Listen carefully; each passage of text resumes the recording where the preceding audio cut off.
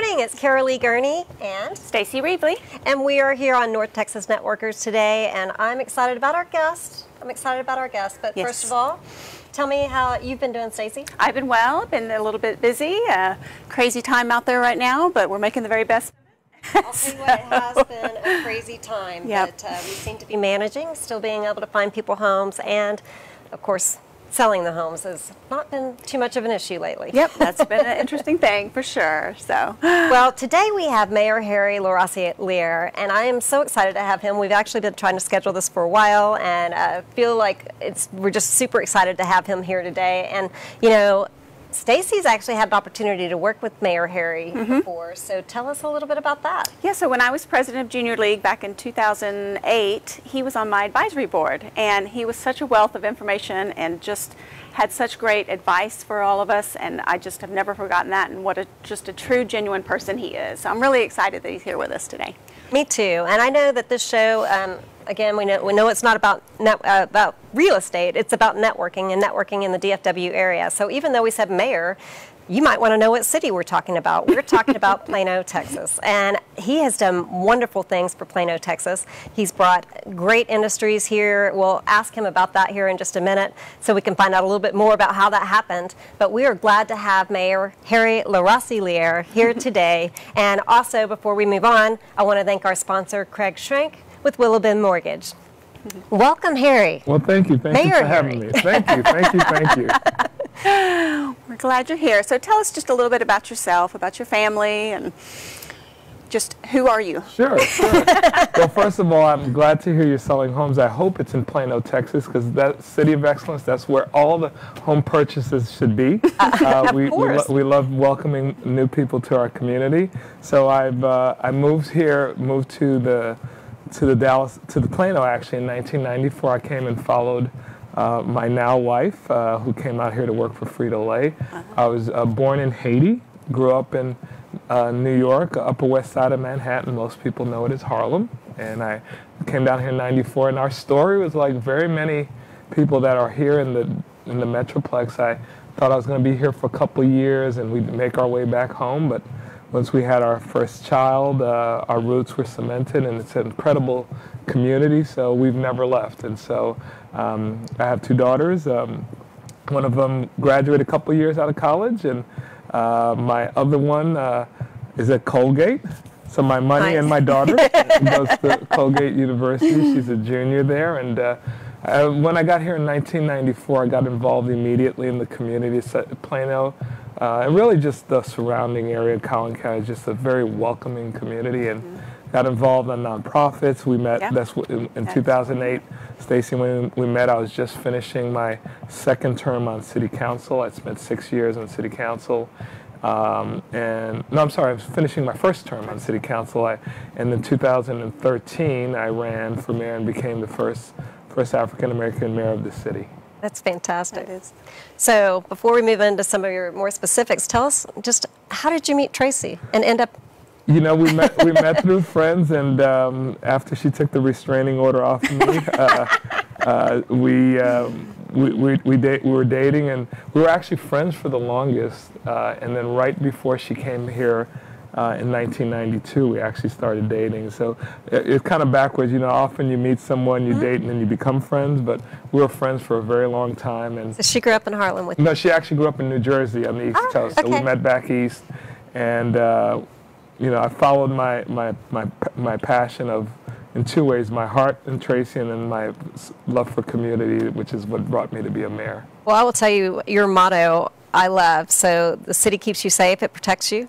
Yes. The schools educate you. Yes. And the community nurtures you. Yeah, I, I, call that the Plano Promise, and I think it's something that was here before I became mayor, which is what makes Plano such a great community. I call it the Plano Promise. It's really directed mostly to our youth because it's really about our future, and so I say the city will protect you. You know, we have, we're one of the safest cities in America. Every year, we're in the top five of safest city. So this past year, we're th ranked third for cities over 250,000 the safest city, third safest city in America.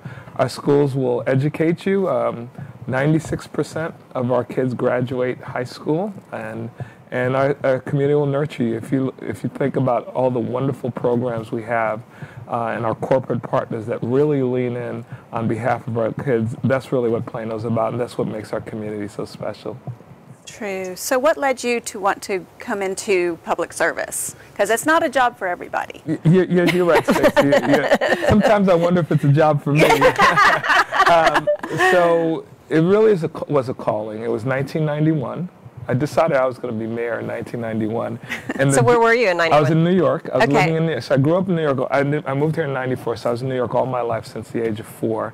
And uh, David Dinkins was the mayor of New York at the time, first African American mayor of the city. So as a young man, I was just paying more attention.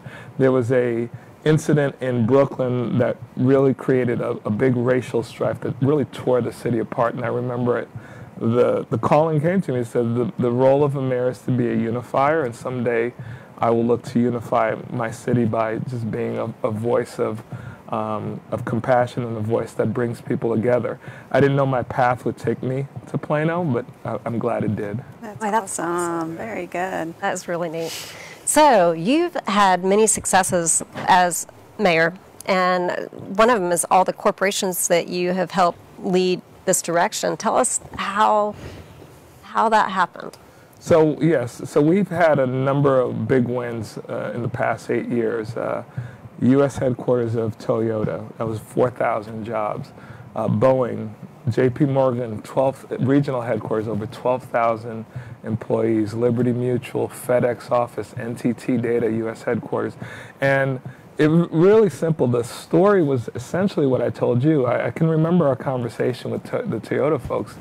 Um, I told them if you come here, if your your your your employees will love the community, and I just gave him the story I told you. I said I thought I was going to be for three years. I fell in love with Plano. Again, it's not only the Plano story; it's really uh, the DFW and the Metroplex. So there's Plano, Frisco, Allen, McKinney, all the cities around us that really make us a wonderful community because we're not here on an island. And I, I was very genuine about that, and I think, and that was truly the, the decision, the deciding factor because everyone was coming in and talking about economic incentives and you know why our city's better than others, and and in the end, the money is a, is a is just a small part of the decision.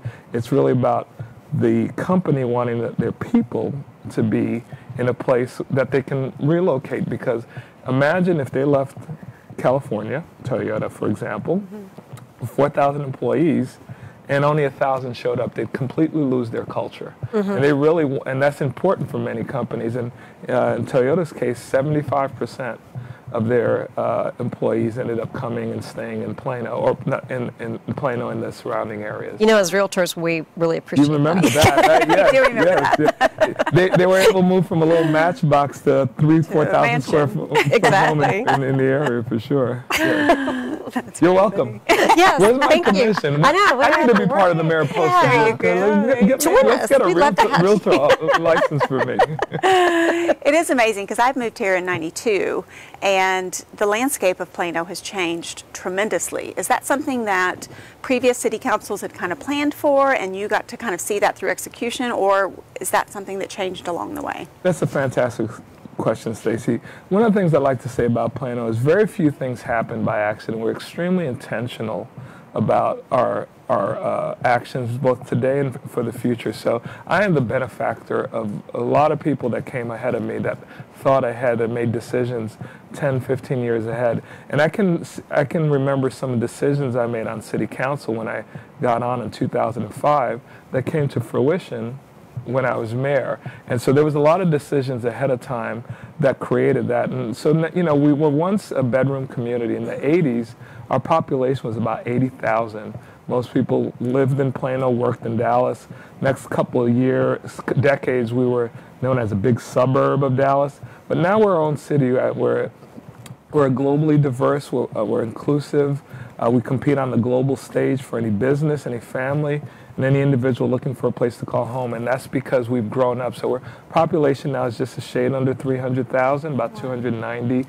We won't get any larger than that. We're landlocked, so there's minimal opportunities for residential growth. We still have some opportunities to bring some businesses It's down. funny, my, my husband has never lived anywhere else but Plano, Nice. except when he went to college. And I remember coming to Plano in late, uh, probably 1989, and yep, we'd yep. never heard of it, and there wasn't much here. And I went to my friend's house, and my husband used to hunt on the land that we've lived on. And it's really interesting because years go by. I've been in the community a long time now, and I went to an event at my church, and I ran into the mother of the girl that I'd gone to see when I was in college. I'm like, oh my goodness, so great to see you. I'm like, where do you live? Not five minutes from me.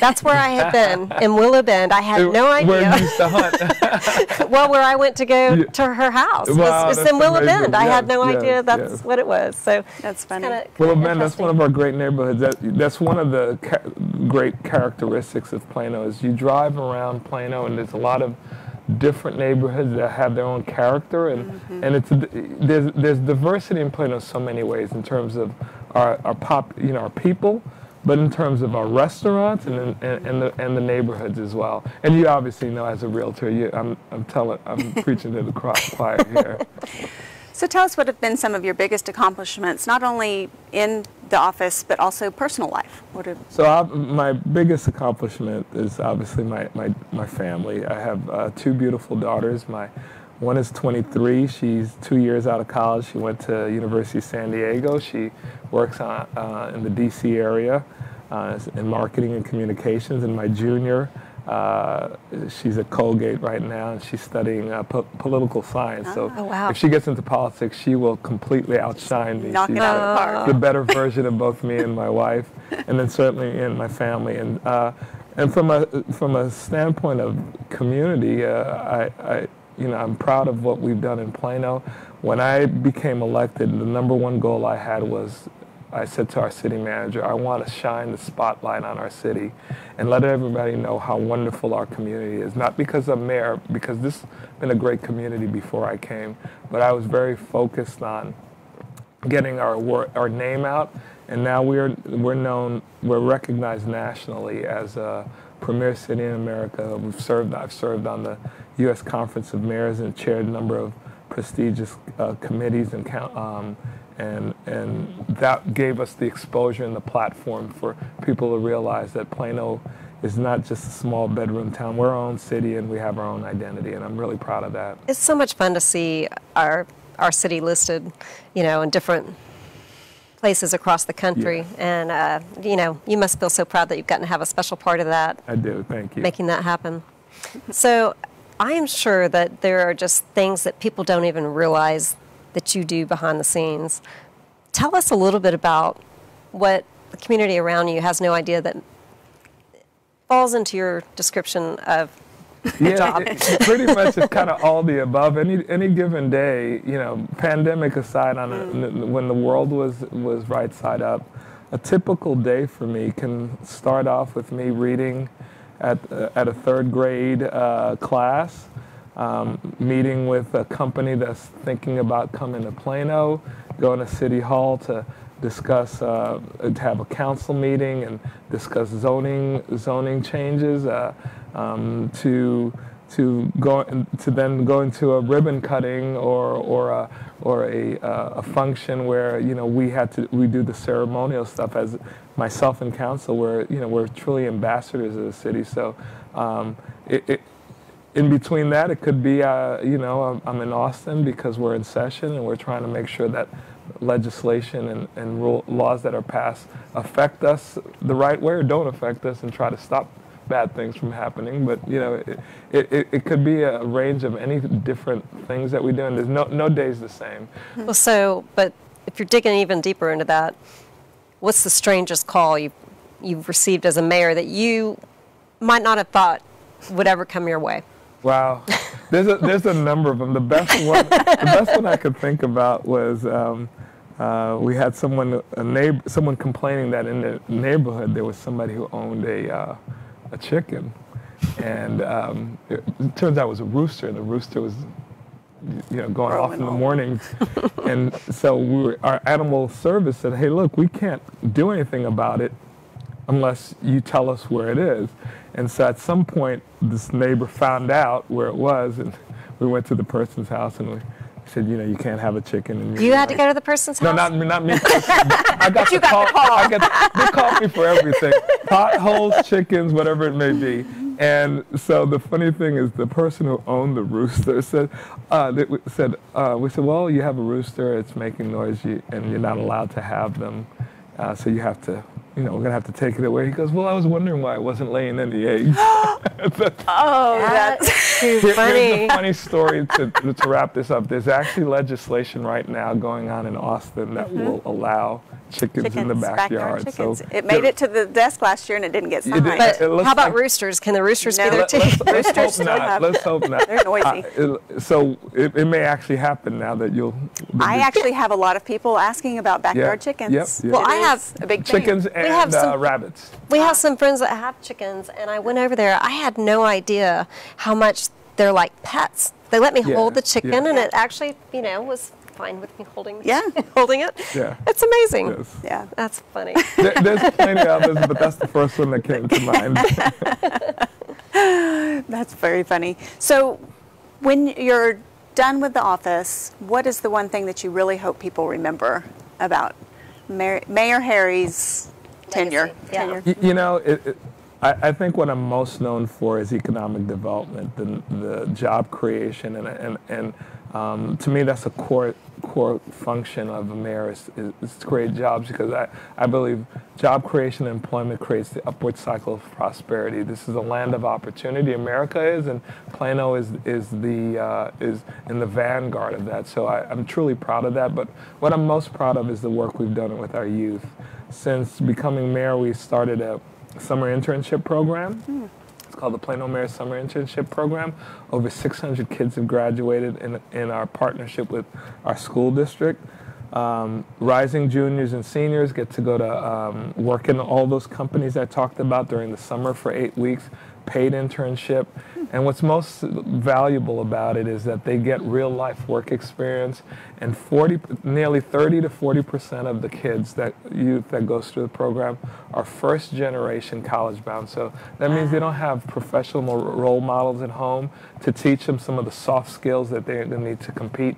Yeah, they're getting a great education from PISD, but it takes more to be competitive in the workplace, and uh, and and then they have business contacts and networks. And I just was with a business owner just yesterday, and a great story. A young man who internship interned with her now works for her. Oh, wow. So it, it's creating a, a, um, a pipeline for a workforce for our, our best and brightest who normally go off to college and never come back to, to realize that Plano is a place they can still call home. And selfishly, I'm hoping my daughter makes her way back here because there'll be plenty of jobs for her to come here as well. That's that's wonderful. That sounds like an awesome program for sure. Yeah, it really, it really does.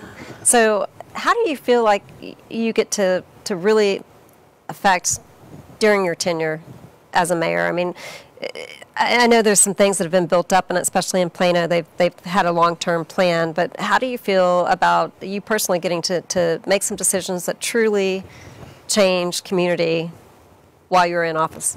So that's that's one that's really one of uh, my the biggest challenges we have, I think, as a council is to, uh, is to be and policymakers to be visionary because you tend to hear from the people that look for things that matter for them today. So I need this here today. I need this done.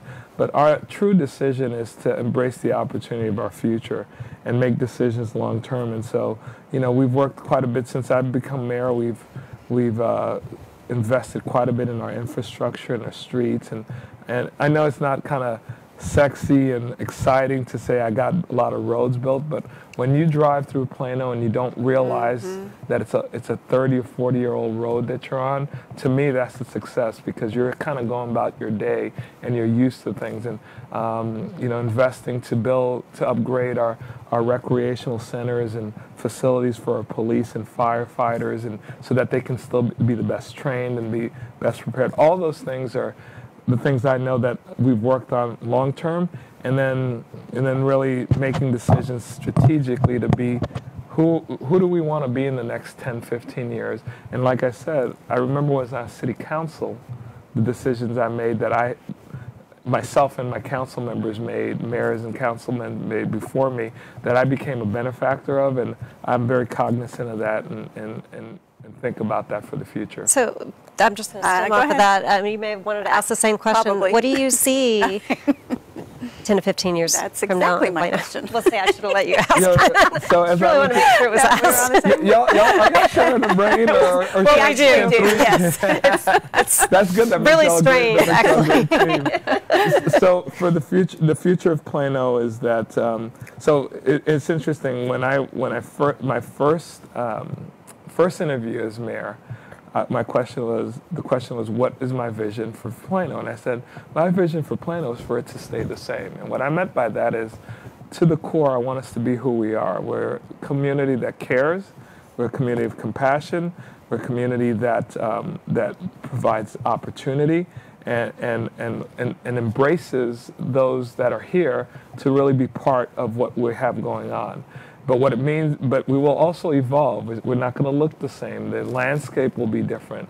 Um, there'll be there's pockets of, of of density, which I call job enhancing residential units. So most people call apartments, but it's more like uh, areas like in Legacy West where you can live, work, and play, and not have to get in your car to go to to go to work and drive up and down the tollway.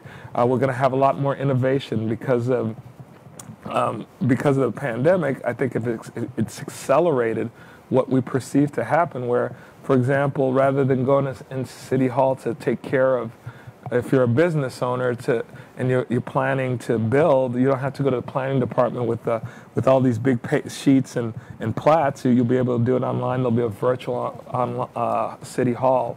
We have a Fix-It app right now where if you're driving in your neighborhood and there's a, a light post that's down or a, or a broken median or something like that, you could pull over. I you, didn't even know that. call Fix It app. You go, you go there, and on your on your smartphone, you say, you take a picture. You say it's the corner of Park and Preston, Mm-hmm. um, and and and then you send it in. Then you will get a a a uh, notice from us to say we've received it.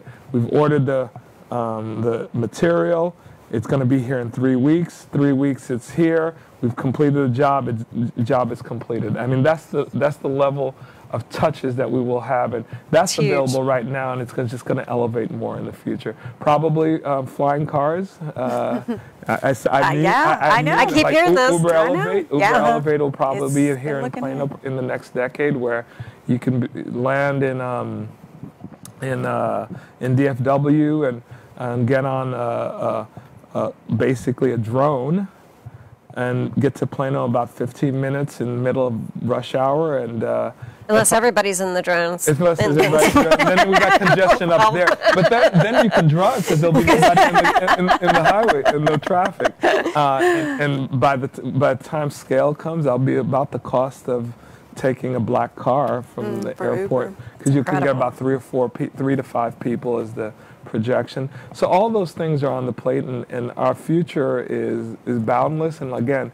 it's embracing the opportunity of our future. It's the, the decision we make today to say we're willing to be the city of the future, and we make the decisions today for what comes down the line. Wow.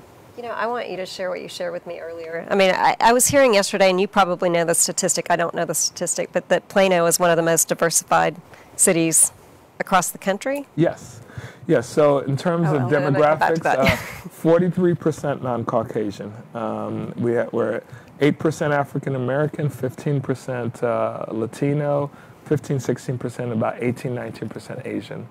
In our school districts, it's 60% non-Caucasian, and there's 80 over 80 native languages spoken in the homes of our students, and all that makes is adds to the richness of our community, and hmm. which makes us special for sure. What I shared with Caralee was when we were, when you served on the advisory board, the Junior League at that time was looking at diversity and, and making sure that we were doing things the way we needed to, and we were asking for advice about that. And your advice was, and I remember this so clearly, to not go out looking to bring in diverse people, but rather define your values, and the right people will come to you. And those right people will And come come. from all walks of life. It was such Yes, great yes. advice, so- Thank you. I remember Well, that. that's pretty good advice. It was really good, wasn't it? So a- good she a little remembers it to I, I wonder what I what said. did I say eight years ago, 12 That's years pretty good. I have moments of clarity every now and then. So that's what the Thank Junior you. League Thank you for sharing that. Thank you for sharing that. For sure. So what's what's life like after office? What are you gonna? Keep well, busy with? Well, my, my beautiful wife and I will spend some time together. I think for the next uh, for the remainder of the year, she's uh, she's forbidden me to accept any any any roles. That's and- why we had to do this th- before you were that's out. I told you. Didn't I, didn't I say you got till May 10th? Yep. That's Yes. my last day. Uh, we got till May 10th, and um, I'm going to just slow slow the pace down a little bit. In addition to being mayor, most people don't know mayor. The mayor is not a, a paid position, although it's a full-time job. Um, I'm I have a wel- I'm a wealth manager with UBS, and so that's a full-time Gig. practice. And I'm fortunate I have a great team back uh, at the office that allows me to go out and, and, and, and serve my community.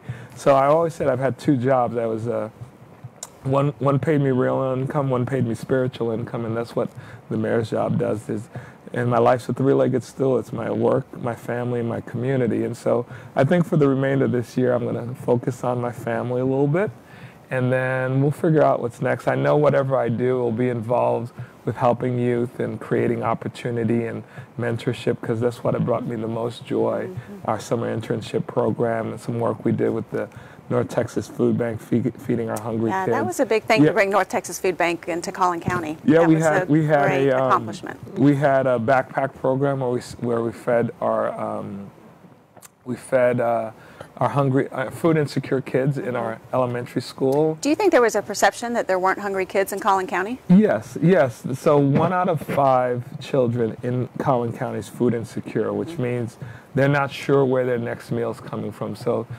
typically during the week, they have breakfast and lunch served in school.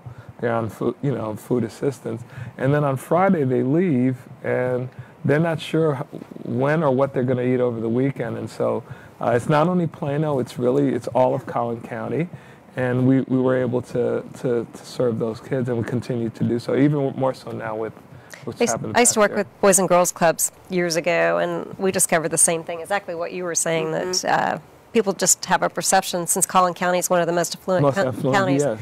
uh, that, that people aren't hungry. We're, we're a And are. microcosm of the United States. We have a lot up here and we have a lot down here. And so our goal is not to bring down the top, but to raise the, those lower and, and, and bring and fill the gap. And so you give a child a chance, you know, how will a child learn if he or she is hungry and, and thinking about the meals? And so we want to make sure that they can go in and, and, and, um, and learn. And education, to me, I call, I call that the great equalizer. If you get a good education, then you have an opportunity. And what I tell my kids in our uh, summer program is, um, internship program is, our job is to get you in the room. Education opens the door, gets you in the room. What you do in, when you get in the room is on you. You got to compete. You got to be prepared. You got to do, bring your best, your A game every day, and that's that's that's what brings the best out of you. But our job is to give them that opportunity and open that door for them, and that's what That's really education cool. does. We have about a minute left, and something that Stacy and I always like to ask. Yeah. If you could do anything and just erase your skills and what you have, but you could pick anything to go back and do over again or to be, to become, aside what you've done, what might that be? Wow. Well, you ask tough questions. You know, you smile and you think it's soft, but this is very hard hitting. I got, I got to say, um, really, I, I can't imagine I'd do anything different. I guess it's the same way of saying is that what would I tell my younger self? I, uh, I'm living a life of passion. My of passion. I, I have a.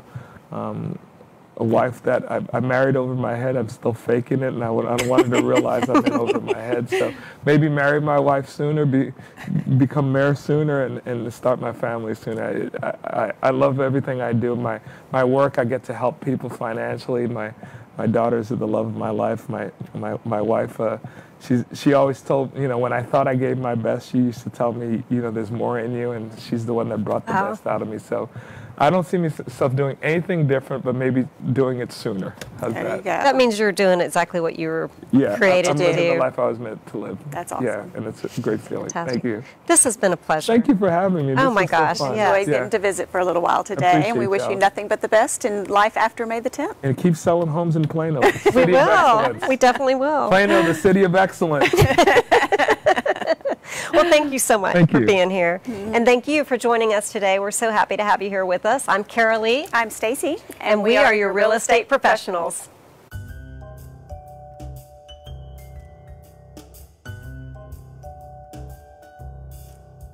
Thank you for joining us on North Texas Networkers. Visit our website, mariposagroupdfw.com. That's M A R I P O S A Group dfw.com for more information about the show and other resources. I'm Caralee. And I'm Stacy. And, and we, are, your real estate professionals.